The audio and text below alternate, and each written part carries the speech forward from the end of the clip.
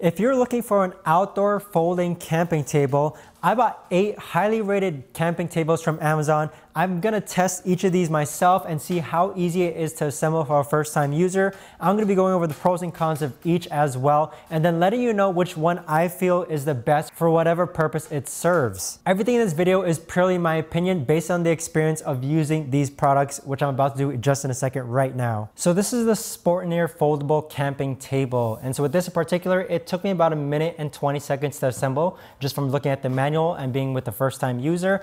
I must say this table does sit pretty low, so I imagine it's good for like when you're sleeping on your cot and your tent on a sleeping bag. It does sit pretty low, okay? The legs do not extend.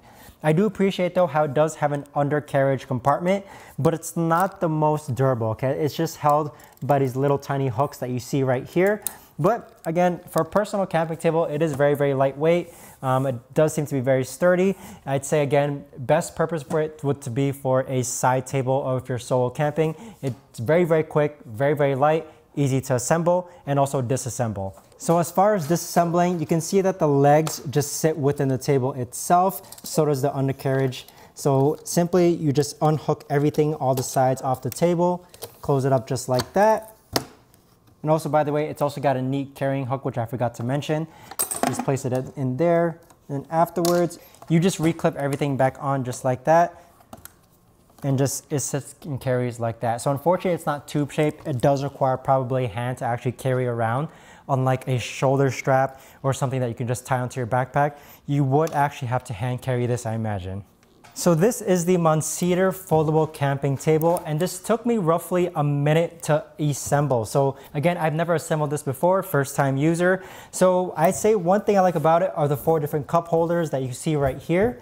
Obviously you have the overhead top in which you can place some stuff. Unfortunately, because there's, it's like a nice soft shell top, it's not going to be the most stable if you're playing or if you're placing glasses on top. So any cans, bottles, cups definitely have to go within the cup holder.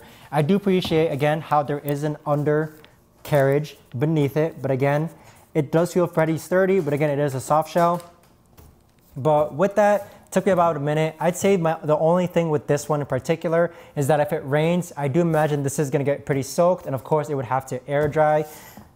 But for multi-purpose, it's a good height, okay? Even if I'm standing, placing things on top, it's not that far of a bend over of a reach for me to go down. But overall, it's a great height, multi-purpose. I'd say this is great for families or basically young adults who are looking to have a few drinks, place them here, works perfectly just fine. So disassembled, this is very, very easy to put away. You basically got this carrying bag right here.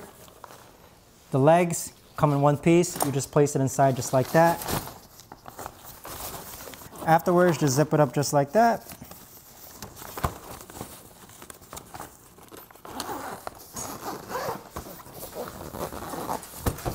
And there you have it.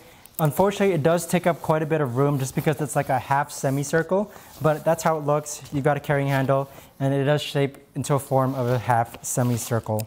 So this is the Portal outdoor foldable camping table. And so I must say, I absolutely love this one. The only thing I would actually not like is that it is quite heavy, but that's basically compensated because of the durability of it so it actually looks like it's made of aluminum, which makes it very, very nice and weatherproof.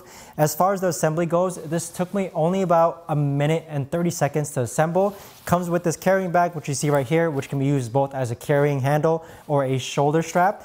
But as far as the assembly goes, the legs are technically adjustable, but I did put it to the highest height. I don't think you'd want to put it any lower. So the legs, again, adjustable by these yellow clips that you see here on each leg the top piece and the bottom piece, that counts as two pieces, okay? So this folding camping table comes as two pieces, which is the top piece that you see up here, and then the legs, which actually collapse once this comes off. And of course, another underseat carriage, which you see right here, it's not the most sturdy, nor is it the most durable, but I do appreciate how it is there. Just gives you more room for actually putting things on this table. But overall, it's actually a nice size, decent table. It's a decent height. It's durable. I feel like it is weatherproof. The only thing is that it is quite heavy. So this is the Campfield camping table for the outdoors. And so this one took me about five minutes and 30 seconds to assemble. So with this in particular, I'd say my biggest issue with it was actually assembling the undercarriage. So the undercarriage that you see right here, It looks great and all. It fits a lot of stuff on top and it's also got a one-sided inside compartment that you see in there. But I'd say this took the longest to actually assemble just for this undercarriage piece. So other things I like about it though, it do, I do feel like it is weatherproof resistant. Um, for the actual carrying of the table, if you could imagine, this top part is all one piece together with the legs. The legs fold in and then this collapses inside like that. So this piece that you see right here is actually what you're gonna carry. So this in half, okay? This from here to here is what you're gonna be carrying. So it's not the most portable. It is pretty flat. And also the undercarriage piece that you see right here, it does pack within the table as well. As far as the legs go, it is a nice, decent height. The legs are adjustable. So right now I have it at its highest height.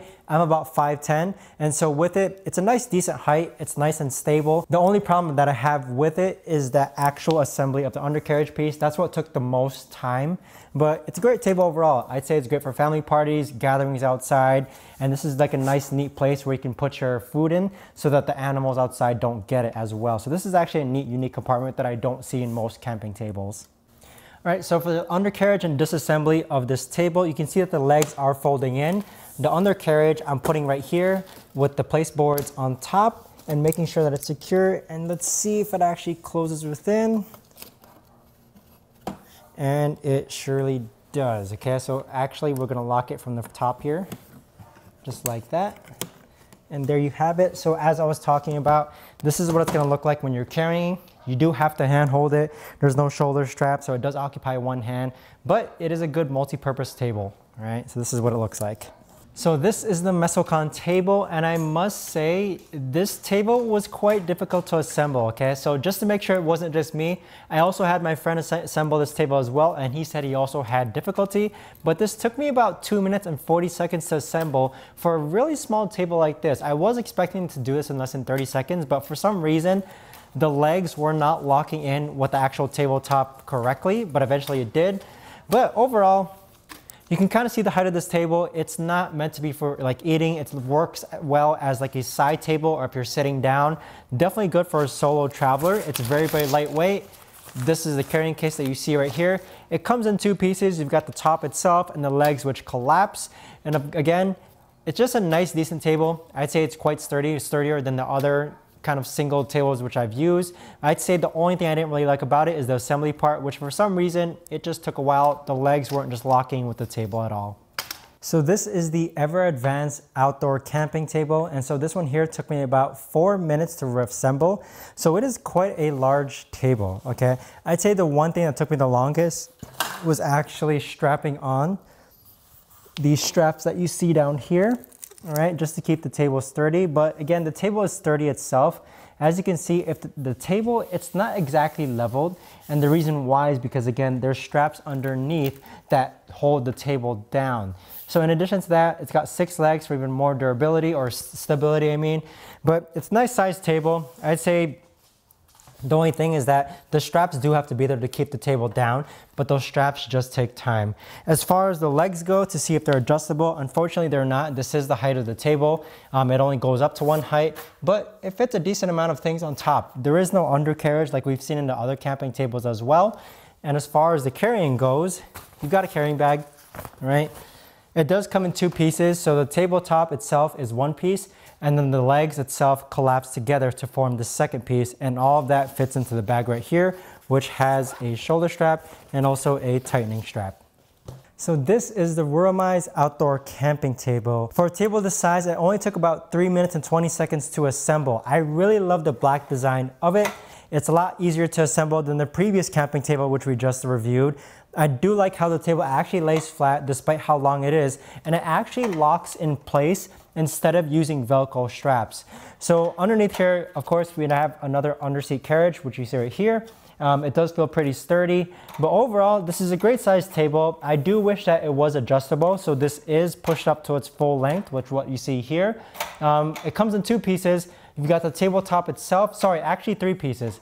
You've got the tabletop itself, you've got two bars, and then you've actually got the legs which collapse within. If you look up top here on the tabletop, you can kind of see that the panels move and such, but it's no big problem, okay?